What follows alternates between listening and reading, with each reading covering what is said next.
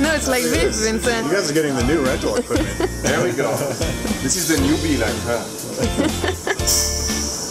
we got new equipment here. Nice. We're diving with that guy. I never do diving stars.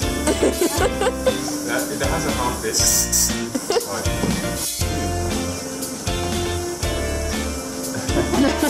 I think I'm not gonna dive in this. It's like going skiing. That's- that's the problem. Ja, en die storm